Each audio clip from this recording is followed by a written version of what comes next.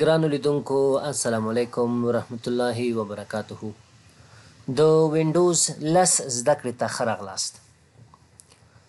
د تیر درس په دوام نن د لیسن 1 یا د اول ورځې درس دریمه برخه ده دا د اولې ورځ درس مونږ په درېو برخو تقسیم کړی و چې اوله برخه کې هم مونږ په د کمپیوټر په اساساتو خبرې کړې وې، په دویمه برخه کې هم د کمپیوټر په اساساتو مونږ خبرې کړې وې، نن چې درېیمه برخه د دې اولې ورځې درس ده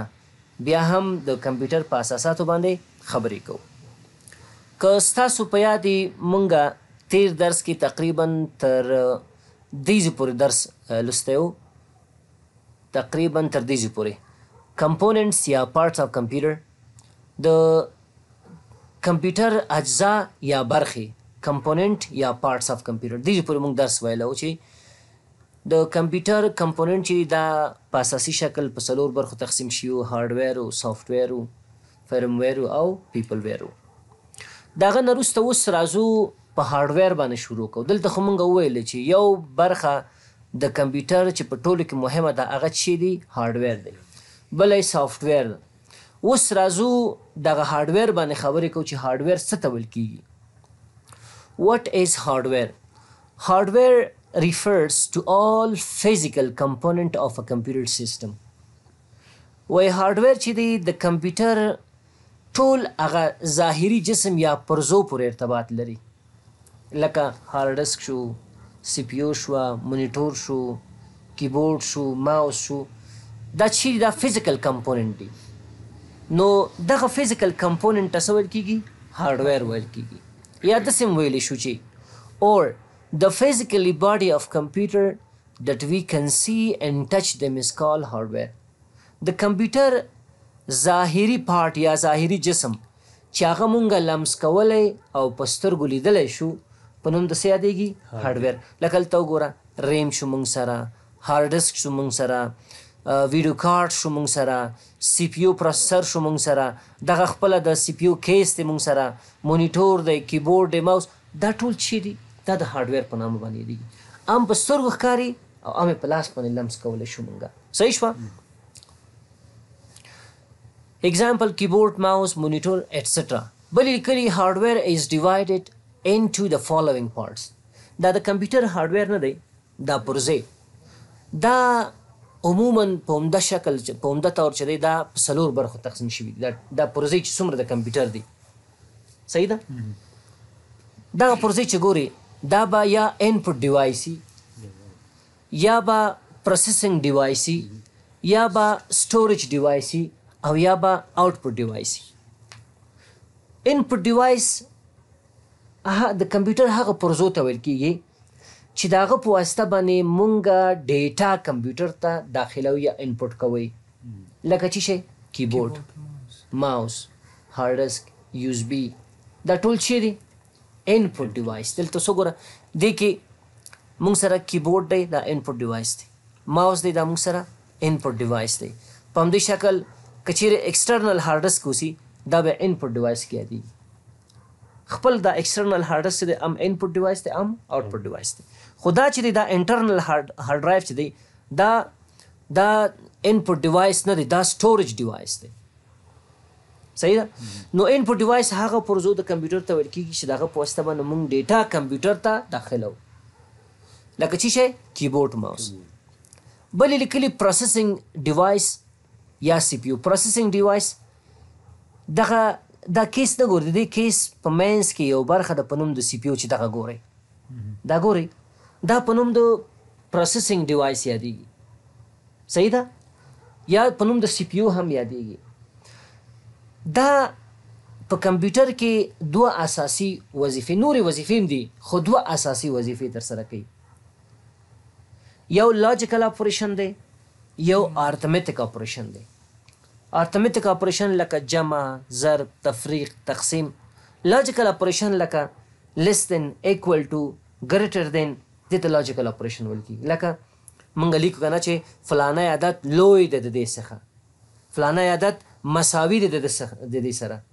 دا لاجیکل اپریشن شو صحیح ده نو سی پی یو دغه ته ویل کیږي دا ګوري دا سی پی یو شو بل سټوریج ډیوایس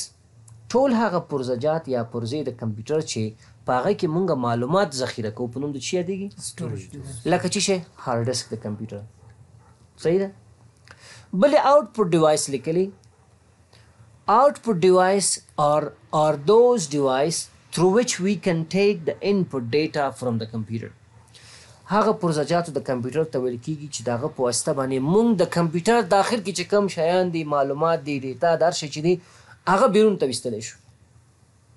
یا بیرون ترې خلکو ته ښودلی یا نمایش کولی شو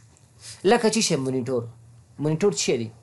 یو آوټ پټ ډیوایس دی ګور ما سره د کمپیوټر په داخل کې دغه هارډ ډیسک کې الته یو تصویر دی خو هغه تصویر زه کولی شم د مونیټور په واسطه باندې نور خلکو ته وښیم دی کنه دی دا زما د کمپیوټر سکرین نه دی د آوټ پټ ډیوایس چی چې داخل کې دی ماته بیرون ته خی لا سپیکر د کمپیوټر نه دی دا آوټ پټ ډیوایس دی یو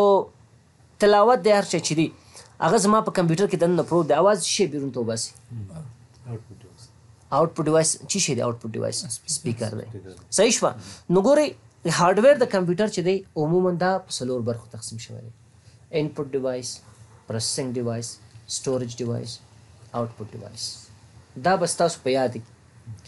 د کمپیوټر اساسي وظایف څو دانه وو څلور یو چې انپوټ بل آفرین دقه یې د هغه په اساس باندې تقسیم کړي دي چې پرزه جات د کمپیوټر هم هارډویر هم په څلور برخو تقسیم شوي صحیح شوه سوال خو نه لرئ اوس ګوره بیا تشریح کړل انپوټ ډیوایس ته ویل کیږي موږ مخکې خبرې وکړې خو بیا هم دلته راغلي The data is entered into the computer with the help of input device وای کمپیوټر ته مونږه خام معلومات ډیټا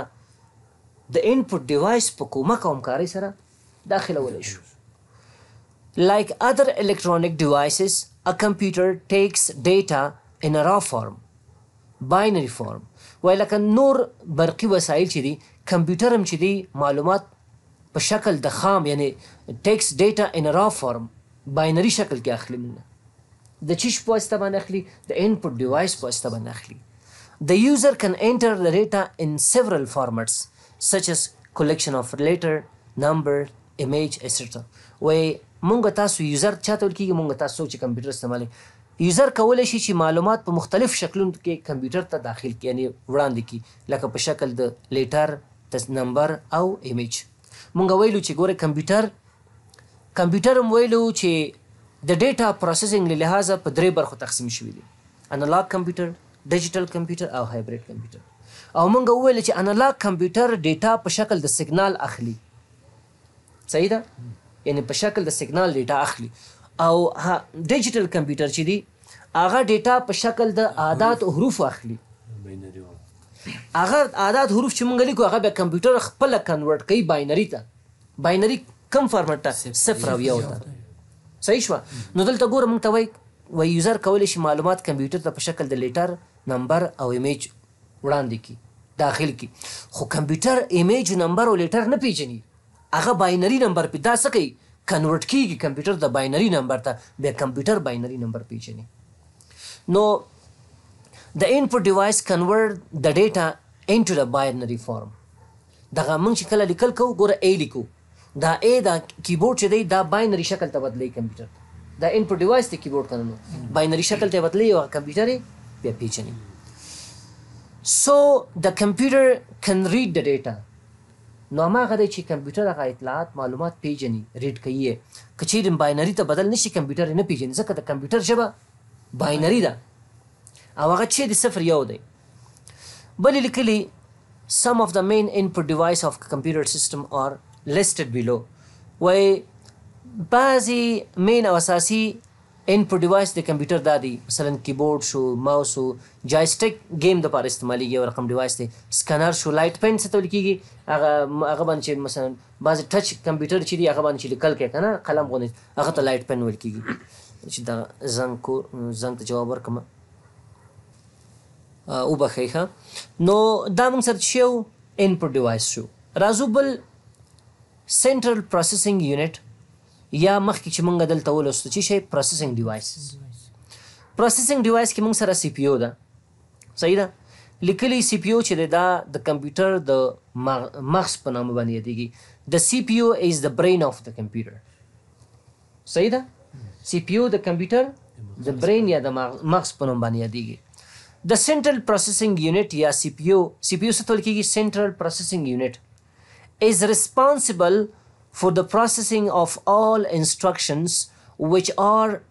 ګيون بای د يوزر ټو د کمپيوټر سيستم کوم هدايت چې موږ تاسو کمپيوټر ته ورکوو هغه هدايت تر سره کول د چا په واسطه باندې کيږي د سي پي يو په واسطه باندې کيږي کنټرول ایس کلکوم غواړم دا فایل سیف کړم دا کار څوک تر سره کوي دا سی پی یو برین اف کمپیوټر څکه هغه په سی پی یو کې هغه کیږي ذخیره کیږي او سی پی یو هغه کار تر سره کوي بیا صحیح شو نو کم کارونه چې یوزر هدایت چې یوزر کمپیوټر ته ورکوي هغه ټول سی پی یو تر سره کوي داغه مسولیت د چا په غاړه دی د سی پی یو په غاړه دی اټ ډایرکټس ان کنټرول د انټایر کمپیوټر سیستم د ټول کمپیوټر مدیریت کوي هدایت ورکي او مدیریت کوي دا هدایت چې کوم ورکړي دي دوی ته بل ان پرفارمز آل ارتمټیک ان لاجیکل اپریشن مخکې ما ته ویل کنه چې سی پی یو دوه اساسي وظایف تر سره کوي نور مشته کنټرول کوي مدیریت کوي هدایت خو دوه اساسي وظایف چې دي ارتمټیک اپریشن او لاجیکل اپریشن چې مخکې ما تاسو ته ویل صحیح ده بل لیکلي د پروسیسینګ is the core functionality of the computer system دغه پروسیسنګ د معلوماتو پروسس کول دا یو د هغه اساسي وظایفو د کمپیوټر څخه دی بیا ورسره لیکلي دي A central processing unit is also called as processor سنټرل پروسیسر او مایکرو پروسیسر دغه سی پی یو ته بعضی خلک چې دی پروسیسر موي سنټرل پروسیسر موي مایکرو پروسیسر موي ټول یو شی دی تفاوت نه لري صحیح ده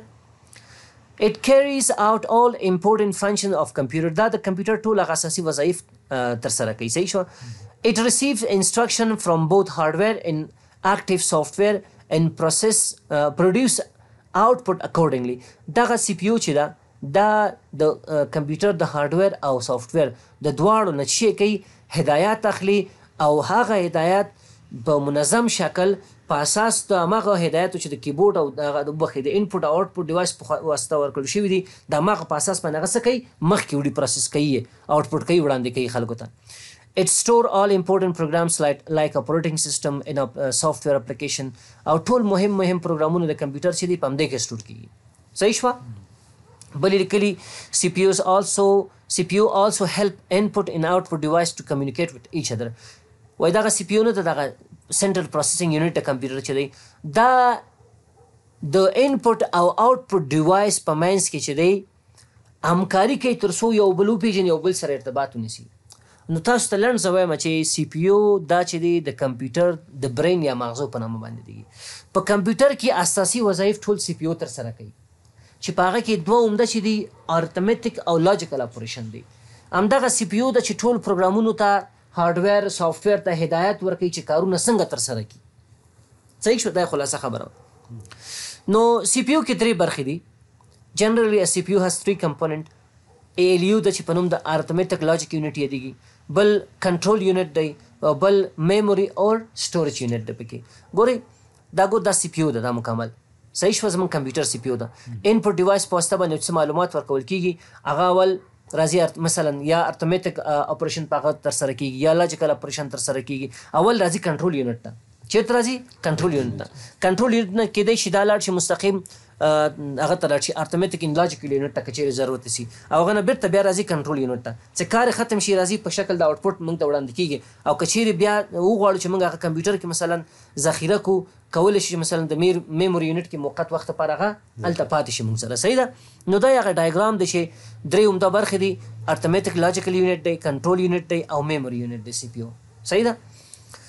بل کنټرول یونټ څه کار کوي د کنټرول یونټ کنټرولز آل اکټیویټیز اور اپریشن which are performed uh, انسايډ د کمپيوټر سيستم، Performed inside the computer system، ټول هغه عملي يا کارونه يا وظايف چې، صحيح شوه، په د کمپيوټر په منځ کې تر سره کيږي د هغه کنټرول کول چې دي د کنټرول يونټ مسئوليت دی. صحيح شوه، د کنټرول يونټ Controls all activities ټول کارونه صحیح ده یا ټول هغه عملیې چې د کمپیوټر په منځ کې تر سره کیږي هغه کنټرول یونټ مدیریت کوي لنډ او خلاصه خبره بل ایلیو چې دی ارتمتیک لاجیکل یونټ چې دی وچ پرفارم ار ارتمتیک ان لاجیکل فنکشن مخکې ما تاسو ته ویل دا دوه وظیفې تر سره کوي لاجیکل اپریشن او ارتمتیک اپریشن ارتمتیک اپریشن چې تول کیږي جمع ضرب تفریق تقسیم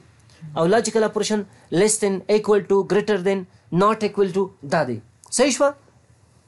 په همدې شکل مونږ سره میموري اور سټوریج یونټ دی دا ګوري دا میموري اور سټوریج یونټ دی مونږ سره اټ از کال رینډم اکسس یا ریم دغه میموري یا سټوریج یونټ چې دی دا په نوم د ریم هم یادېږي په نوم د چی په نوم د ریم هم یادېږي چې د موقت وخت لپاره معلومات ذخیره کوي چې کله موږ یو کمپیوټر کې کار کوو کنه تر څو چې هغه فایل موږ سیف کړی نه هغه په ریم کې ذخیره کیږي خو که هغه حالت کې برق لاړه هغه ډیټا له مینځه ځي او که چیرې موږ په هارډسک کې سیف کو بیا هغه ډیټا له مینځه نه ځي نو ریم چې دی د موقت وخت لپاره معلومات ذخیره کوي ګورته لیکلي it temporary stores data programs and intermediate uh, intermediates and final results of the processing دا چې د موقت وخت لپاره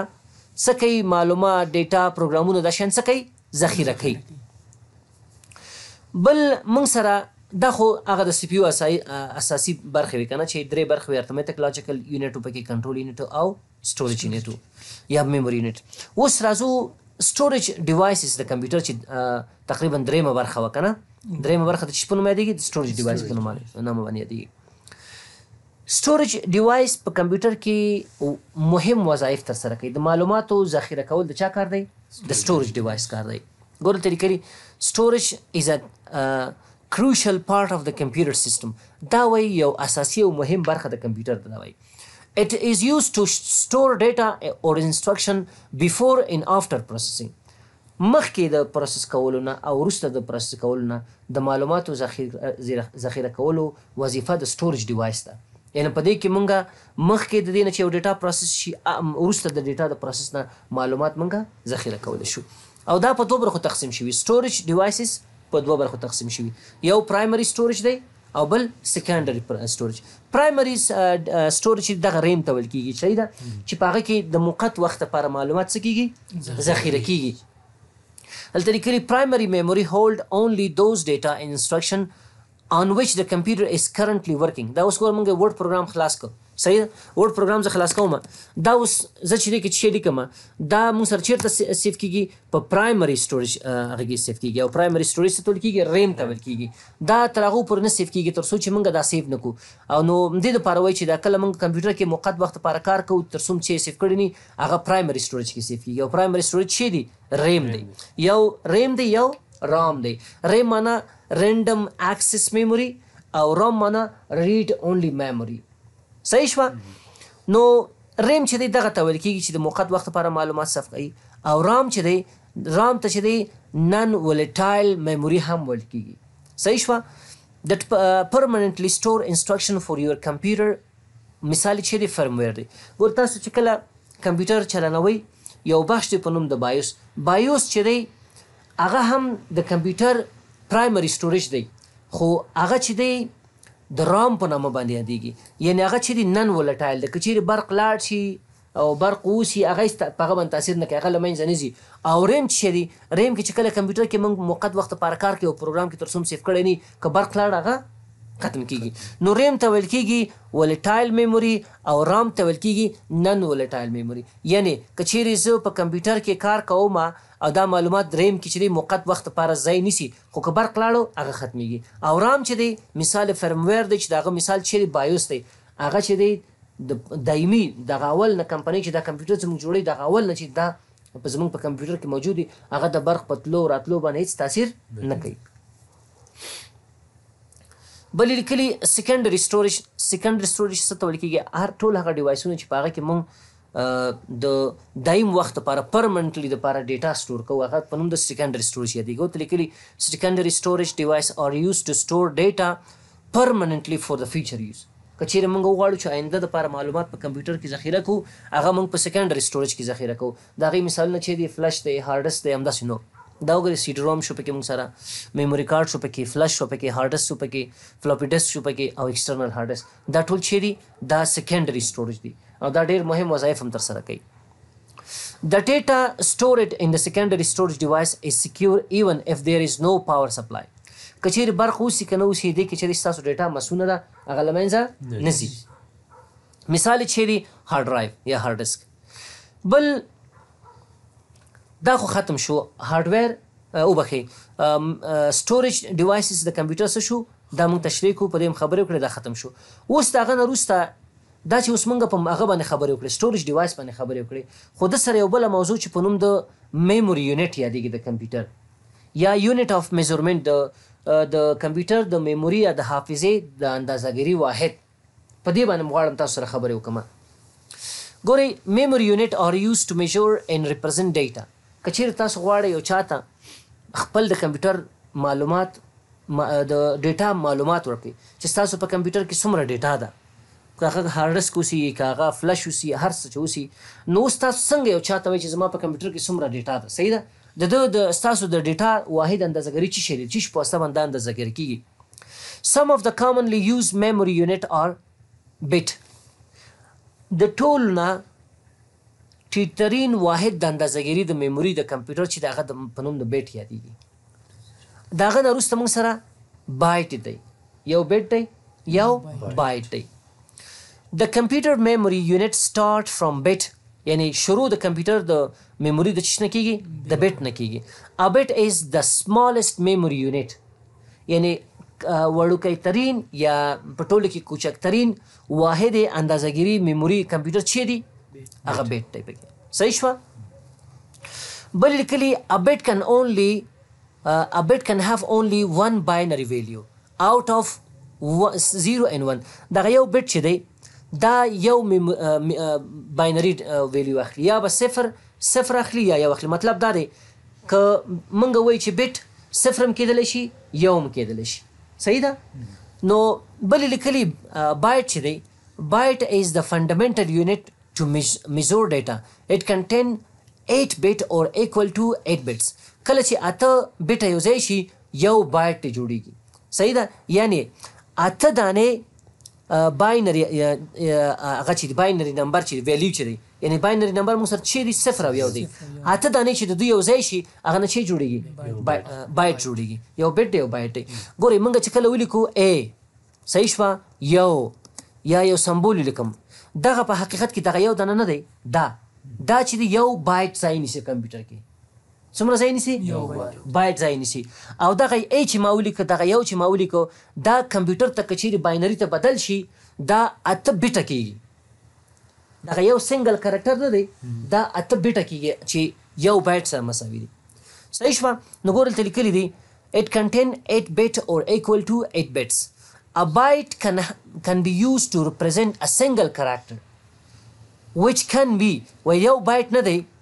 دا د یو لیټر نمایندګي کولی شي، یو نمبر نمایندګي کولی شي، د یو سمبول نمایندګي کولی شي، د یوه سپیس نمایندګي کولی شي. یعنې ته چې کله کمپیوټر کې یو سپیس ووهې، دا څه شی شو؟ یو بایټ ځای ونیو ستا په کمپیوټر کې. کله چې ولیکې، A ولیکې، یو بایټ ځای ونیو. کله چې یو ولیکې، یو بایټ ځای ونیو. کله چې یو سمبول استعمال کړې، یو بایټ ځای ونیو. چې یو بایټ اته بیټه کیږي او هر یو بیټ چې دی په کمپیوټر کې د یو باینری نمبر ځای نیسي یا به صفری او یا به یوي صفر معنا آف یو معنا آن نو شروع د کم ځای نه کیږي ما تاسو ته ویل چې د بیټ نه کیږي ورپسې چې دی بایټ دی نو اوس چې دی د کمپیوټر واحد چې دی دغه اساسي واحد اندازګيري د معلوماتو چې دی هغه چې دی بایټ دی ګور لیکل دي کله چې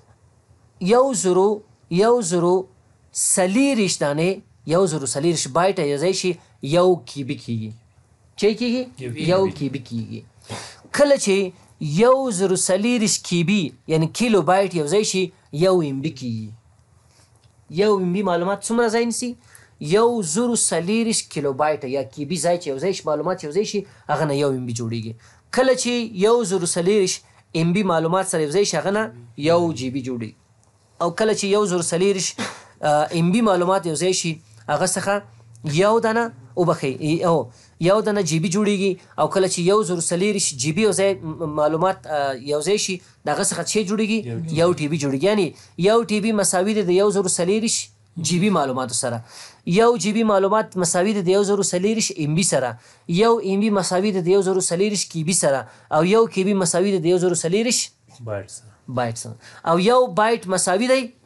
د اته بيټ سره په همدې شکل باندې يو زرو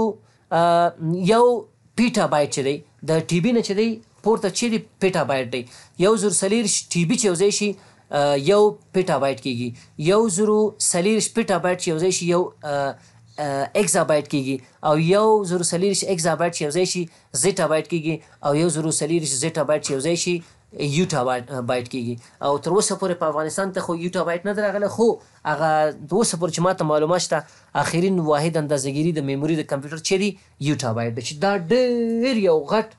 غټ اندازه میموری ځان سره سټور کولی شي معلومات سټور کولی شي یوټا بایټ بل راځو آوټپوټ ډیوایس ته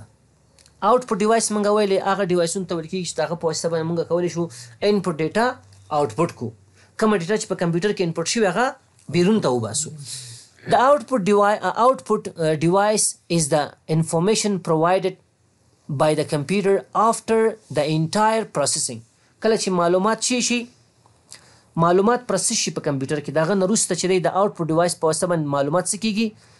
مونږ او تاسو ته په شکل د انفارمیشن پریزنټ کیږي نو هغه ته څه ویل کیږي اوټپوټ انفارمیشن It is also known as the result that can be stored in the storage device for further use. کله چې موږ معلومات کمپیوټر ته واچولو هغه هم پروسس کړو هغه معلومات چې موږ ته بیرون ته د اوټپوټ ډیوایس په واسطه باندې راځي هغه موږ کولی شو د آینده لپاره په کمپیوټر کې ذخیره کو استعمال کړو صحیح شو نو دا خلاصه د دې مثالونه چي دي مونیټور، پرنټر، پروجیکټور او سپیکر. راځو سافټ ویر ته. دونه ډېرې خبرې پاتې نه دي، لږ خبرې پاتې دي. صحیح ده؟ سافټ ویر څه ته ویل کیږي؟ سافټ ویر از ا سیټ اف پروګرامز ډیټ انیبل د هارډ ویر ټو پرفارم سپیسیفیک ټاسک. وایې سافټ ویر چي دي دا یو مجموعه د پروګرامونو ده چي هارډ ویر ته توانایي ورکوي چي یو مشخص کار تر سره کړي. کیبورډ، ماوس، صحیح شوه، مونیټور دا نور شیان دغه هارډویر چې د سافټویر په واسطه باندې کار کوي که چیرې ستا په کمپیوټر کې سافټویر نه وي هارډویر کار نه کوي all the programs that run the computer are software ټول هغه پروګرامونه چې ستاسو کمپیوټر رن کوي مخکې وړي هغه په نوم د سافټویر یادیږي یا داسې هم ویلی شو The entire program of computer that we can see but can't touch them is called software د کمپیوټر ټول پروګرامونه چې موږ ته ښکاري او لمس کولی نه شو په نوم د سافټویر یادیږي سافټویر چې دی بیا په درې برخو تقسیم شوی د کمپیوټر ټوله دنیا کې چې څومره پروګرامونه ګوري هغه په درې برخو تقسیم شوي په دغه د دې د جملې څخه به یو پروګرام چې کوم پروګرام تاسو په چیرته ګوري یا به هغه سیستم سافټویری یا به لنګویچ یا پروګرامینګ سافټویر وي او یا به ابلکیشن سافټویر وي. نو پروګرامونه په درې برخو تقسیم شوي، سیسټم سافټویر دی، لنګویچ سافټویر دی او ابلکیشن سافټویر دی. سیسټم سافټویر څه ته ویل کیږي؟ سیسټم سافټویر، The system software is the main software that run the computer. په کمپیوټر کې اساسي ترین او مهم ترین سافټویر چې دی هغه سیستم سافټویر دی چې زمونږ کمپیوټر رن کوي که چیرې هغه نه اوسي زمونږ په کمپیوټر کې کمپیوټر مونږ نشي استعمالوي کار نه کوي لکه چی شی وینډوز وینډوز چی شی دی دا یو سیستم سافټویر دی اپریټنګ سیستم دا سیستم سافټویر بعضی کسان کمپیوټر ته تا راوړي وایي دی که وینډوز انسټال که چې کار کوم ولې وایي وینډوز پکې نشته کار نشم ته اخستلی نو چې کله ستا کمپیوټر کې سیستم سافټویر نه کار ته نشي اخستلی when you turn on the computer It activates the hardware and control the and coordinates coordinates their functioning وای کله چې تاسو کمپیوټر چلانوي دغه سیستم سافټویر دی چې د هارډویر فعاله کوي د هارډویر نه د پروسیجر د کمپیوټر فعاله کوي صحیح شو هغه کنټرول کوي او د دې هارډویر د پروسیجر د کمپیوټر د پروسیجر په منځ کې چې دی د دوی ترمنځ هماهنګي کوي کم کا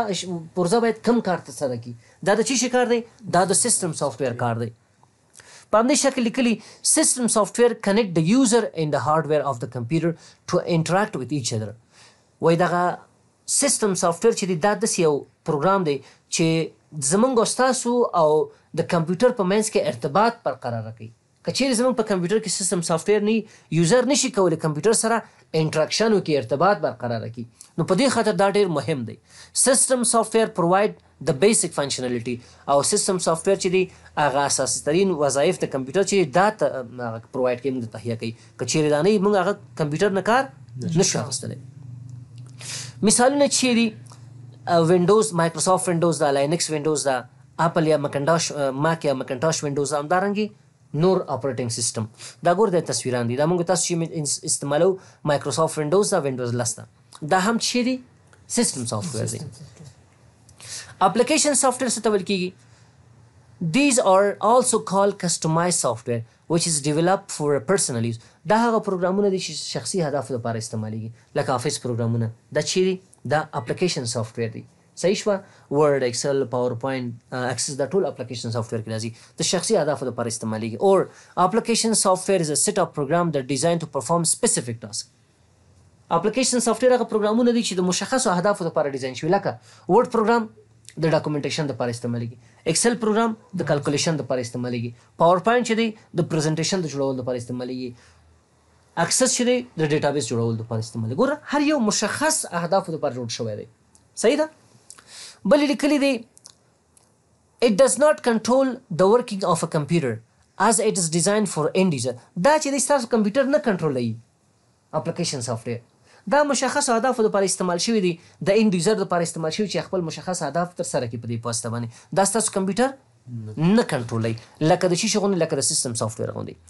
په همدې شکل نور مثالونه دي د ده ښه مثالونه چې دي مایکروسافټ افیس دی اډابي فوټوشاپ دی او همدارنګه نور سافټویر ته ګوري دا چې ګوري دا ټول چې دي دا اپلیکیشن سافټویر دی ښه مثالونه چې دي ورډ دی پکې ایکسل دی پکې او ملټي میډیا سافټویر دی لانګویج سافټویر څه ته ویل کیږي یا پروګرامینګ سافټویر It is a set or collection of tools that help developer in writing other software or program. دغه لنګویج سافټویر دا چی دی وایی داسی یو سافټویر یا پروګرامونه دی چی ډیولپرانو سره کومک کوي چی نور پروګرامونه ډیزاین کی، رایټ کی، ډیولپ یی کی. پروګرامر چاته ویل کیږی هر هغه کس چی سافټویر ډیولپ کوي. نو دغه لنګویج سافټویر یا داسی هم ویلی شو چی لنګویج سافټویر یا پروګرامینګ سافټویر آر دوز سافټویر ویچ آر یوزد فور پروګرامینګ پرپوز. صحیح ده دا هغه سافټویر دی چې د نورو سافټویر د ډیزاین کولو او د ډیولپ کولو لپاره موږ د دې څخه کار اخلو لکه د دې مثالونه چې دي دا اوس وګور دغه پایتن شو پکې سی پلس پلس جاوا شو دا اوس ګوري سی شارپ شو دا ټول جاوا سکرپټ شو پی ایچ پی دا ټول په نوم دو لانګویج سافټویر استعمالیږي د کې بیا دا بعضی ټولز ته موږ سره مثلا کوډا شو پکې نوټ پډ پلس پلس شو پکې سبلاین ټیکسټ شو پکې دا هم په نوم د شي یادېږي دا ټولز دي چې د ډیولپینګ پرپوز لپاره استعمالیږي ډیولپر ډیولپران د دې څخه د نور سافټویر د ډیولپ کولو لپاره کار اخلي خلاصه لانګویج سافټویر هغه سافټویر ته ویل کیږي چې د نور سافټویر د جوړولو د لپاره دغه څخه مونږه کار اخلو جوړولو یا ډیولپ کولو لپاره واټ از وینډوز وینډوز خو مونږه وویل مخکې اوس راځو وینډوز ته وینډوز مونږه مخکې وویل چې دا چې د اپریټینګ سیستم دی دا داسې یو پروګرام دی چې زموږ د کمپیوټر اساسي وظایف کنټرول کوي او مدیریت کوي. دا داسې یو پروګرام دی، داسې یو بخش د کمپیوټر دی چې زموږ او ستاسو د کمپیوټر په منځ کې روابط یا ارتباط برقراره کوي. که چېرې زموږ او ستاسو په کمپیوټر کې وینډوز نه وي، موږ نه شو کولی هغه سره، کمپیوټر سره، ارتباط برقرار کړو. نو لیکلي What is Windows؟ Windows is an operating system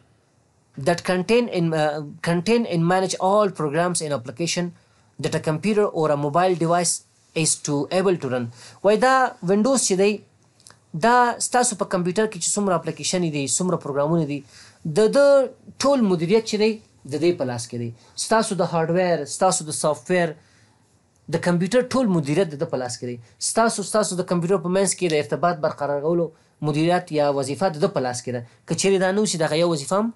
نه تر سره کېږي. صحیح شوه؟ نو دا و د وینډوز سافټویر یا داسې هم ویلی شو چې Windows is the way of communication between user and computer، وینډوز راه ارتباط بین کمپیوټر وخو د ماشومه سته زمونږ او ستاسو د کمپیوټر زمونږ او زمونږ د کمپیوټر په منځ کې د ارتباط د د برقرارولو یوازنۍ وسیله چی ده وینډوز ده که دا نه وی مونږ نشو کولی ارتباط ورسره برقرار کړو کمپیوټر سره نو دا مونږ سره هغه ابتدایی اساسات د کمپیوټر چی څوک غواړی کمپیوټر ووایی باید مخکی د ویلو نه چی دی دی شیانو باندی ځان پوه کړي صحیح شوه په هر صورت راځو کمپیوټر ته دا چه ګورئ تاسو دغه دا د کمپیوټر صفحه ده مکمل بعضی کسان د سکرین وای خو دغه صفحه چه تاسو ګورئ د کمپیوټر دې ته ډیسکټاپ وای اساسی نوم یې چه دی ډیسکټاپ دی هر چه شی چه تاسو د کمپیوټر په مخه ګورئ دا ګورئ دا دې ته آیکن ویل کیږي زه به دا صفحه لری کړم دا تصویر به زه دې ځینې لری کړم پراپرټیز ته راځم. دا تصویر مې ختم کړ دا اوس وګورئ دا چې ګوري تاسو دا پروګرامونه دي خو دغه دغه د شکلونو ته دا کوم شیان چې زما د کمپیوټر په سکرین باندې پرته دی ډیسکټاپ کې پرته ته آیکن ویل کیږي آیکن تصویر ته ویل کیږي هر یو پروګرام په کمپیوټر کې ځان ته خاص تصویر لري چې د هغه په واسطه باندې مونږ هغه پروګرام پیژنو یا شناسای کوو نو چې شي چې تاسو د کمپیوټر په مخ ګورئ هغه ته ویل کیږي آیکن ویل کیږي او د صفحې ته د کمپیوټر ویل کیږي ډیسکټاپ ویل کیږي دغه چې ګورې دا لاندې دغه ځای دا مستقیم لاندې ټول مکمل دې ته ټاسک بار ویل کیږي څه ویل کیږي ټاسک بار